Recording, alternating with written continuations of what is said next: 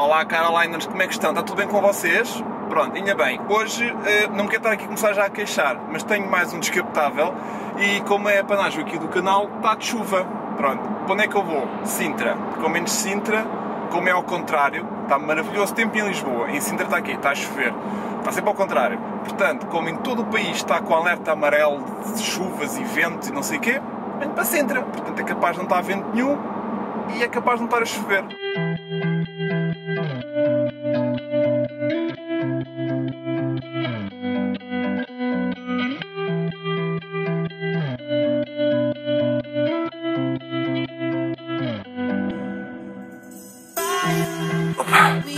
Bem, está um bocadinho de vento, mas pelo menos não está a chover. Epá, temos aqui o SLC, é o diesel, para ter a capota aberta.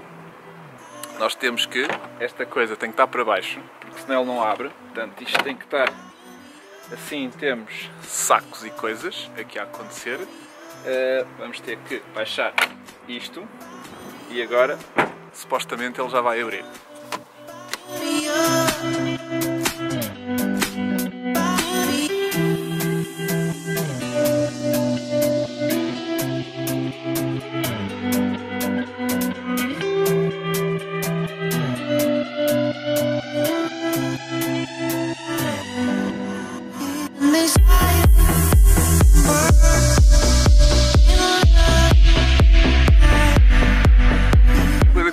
Alguma dificuldade é a abertura que temos aqui para tirar coisas é tipo o Medikit já não sai assim a ver?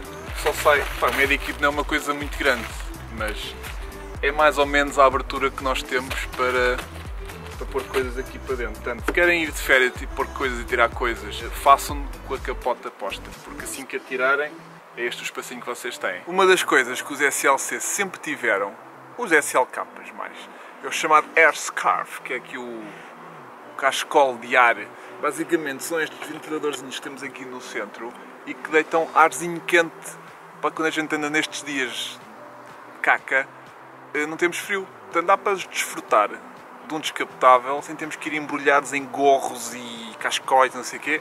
Mercedes atrás do cascol incluído. A nível de interiores, é aquilo que a gente já conhecia dos Mercedes antigamente. Estes que são aqui os tablets e os ecrãs gigantes e joysticks. Há muita butanada ainda aqui a acontecer. Portanto, antes que comece a chover eu molho isto tudo, vamos fechar a capota e vamos, vamos rolar um bocadinho para a estrada.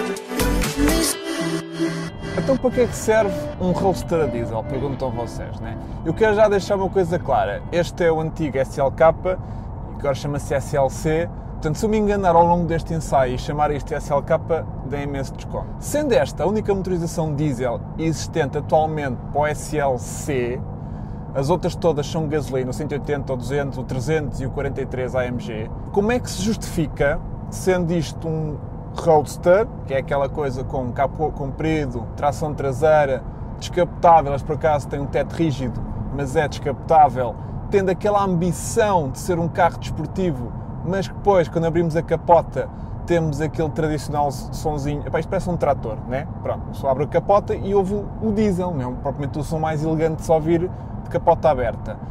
Como é que se justifica um Roadster diesel?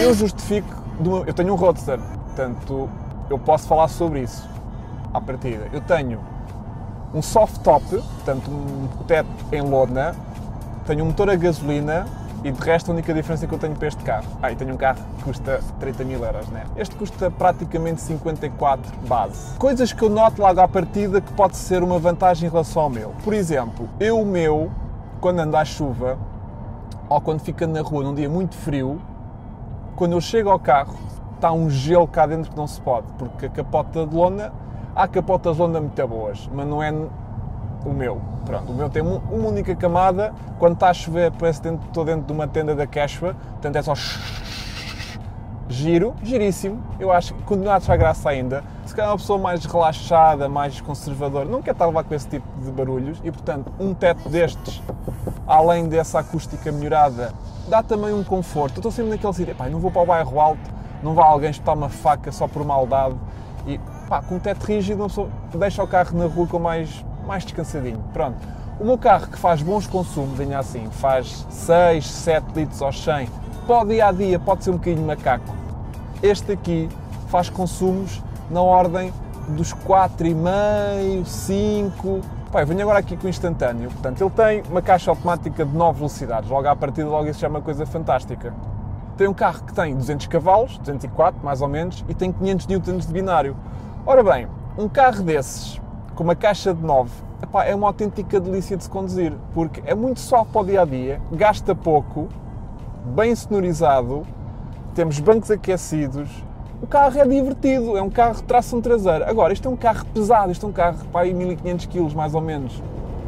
Mas pronto, temos 200 cavalos, né? Com 200 cavalos, o carro anda.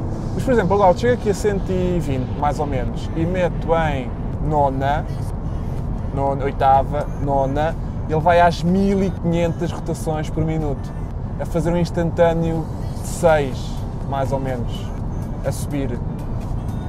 É aqui que este carro é fortíssimo. Porque este carro permite-me andar no dia a dia com ele, a gastar pouco, ser sensato, e quando eu saio do trabalho, num dia que chatice, que eu tive montes de problemas e não sei o quê, permite-me ir para casa, ter com a minha mulher gorda e com os meus quatro filhos que me vão chatear a cabeça, faz de conta, o resto da noite toda, permite-me ir para casa, no breve espaço entre o trabalho e casa, de capota aberta, a esquecer todos os problemas e não sei o que, não sei o que mais, sem gastar muito, sem ter a desvantagem toda que um Roadster puro pode ter por gastar um bocadinho mais. Eu comparava a nível de preços este carro com o SLC 300, que é o a gasolina que tem 245 cavalos, faz mais 5 km hora de velocidade máxima, se bem que limitado eletronicamente 250 e este faz 245, tem menos binário do que este, apesar de ter mais power, tem menos binário do que este, tem 370 Nm de binário, este tem 500, portanto tem muito mais baixas, o que é ótimo para esta caixa de 9 velocidades. Esta caixa de 9 velocidades faz perfeito sentido num carro diesel, porque tem uma faixa de utilização mais curta, né? portanto o carro trabalha aqui entre 3.500 e 3.000 idealmente, e portanto quanto mais mudanças tiver, mais andar ali naquele regime ideal, não precisamos andar a esgravatar e a puxar muito para este carro. Portanto, caixas com muitas velocidades faz total sentido, mais do que uh, num carro em gasolina até. O SLC 300, por exemplo, só bebe gasolina 98, portanto, apesar deles prometerem consumos de 6 litros e tal aos 100, que são menos 1 litro e meio a 2, mais 1 litro e meio a 2 que este, bebe 98. Depois, 0 aos 100 tira menos de um segundo a este. Este faz 6.6, o outro faz 7.8, 5.8 mais ou menos, portanto é menos de um segundo de diferença. Pá, e custa mais 3 mil euros do que este. Opa, se cá temos um sonoro muito mais bonito de escape, é verdade. Mas será que isso justifica todas as desvantagens? Percebem onde é que eu quero chegar? Isso deixa um tema aberto a vocês, porque realmente há essas condicionantes todas. Este carro, como é que é de explicar isto? não é um verdadeiro desportivo, não é? Porque isto é um carro ainda pesadito, a suspensão é firme, chega a roçar às vezes o desconfortável, porque é bastante firme. Estes bancos, apesar de ter este cenário brutal uh, e darem aqui bom apoio em cima, são muito direitinhos em baixo, não percebo, não tem regulação aqui para a parte das pernas. Agora, temos uma posição mega baixa de condução, portanto vocês veem onde é que vai aqui o nível uh, da porta, vai, vai vou absolutamente baixinho, com o volante com ótima regulação aqui na peitaça. Tenho aqui o capô que até se vê aqui as galrazinhas, tem aqui uns ventiladorzinhos aqui em cima. Também dá muito cenário. Aliás, este carro não sei se vos acontece a vocês, mas a mim acontece muitas vezes. Ao longe, confundir este carro com um AMG GT. Vejo esta frente a vir é pá, vem um AMG GT. Ah, não, é só um SLK. Capa, disse capa, propósito. Tipo, ah, é só um SLK. Acontece muito, isto tem um cenário muito bonito, é verdade. Uh, temos aqueles condicionantes aqui da bagageira e tal. Epá, mas uh, toda esta estrutura é pesada e isso depois nota-se. É um carro que nota-se tem alguma dificuldade a travar, não é assim muito ágil. Tem uns pneus 205 à frente e 225 atrás, em jante 16 não me puxa para andamentos muito uau, muito espetaculares. Mas é um carro divertido de conduzir, porque é um Roadster, tem as patilhas aqui na caixa, tem vários modos de condução, sports e coisas e não sei quê. Agora, neste dia de chuva, chega e sobra para andar aqui a fazer umas brincadeiras, se bem que nunca, não é para isso que ele nos puxa. Isto é mais um carro de GT, para ir passear, para fazer autoestrada, baixos consumos e ter o cenário de um Roadster. Está bem? É aquilo que eu acho. Portanto, espero que tenham gostado. Continuem a seguir-nos no Facebook, no Instagram. Subscrevam o canal. Quem chegou agora aqui de repente diz: Epá, o que é que é isto? Epá, é um canal que faz reviews de carros, vlogs, coisas assim diferentes. Uh, deixem um, a subscrição, é gratuita. Ativem a campainha já agora para receber notificações, para dizerem que eu depois não largo os vídeos. Os vídeos já lá estão e vocês nem sequer perceberam que eles lá estavam. E agora, hum, vou puxar aqui modo manual, vou puxar aqui de uma terceira. Ora, aqui está ela. Um grande abraço e até para a semana, meus putos. Vamos embora!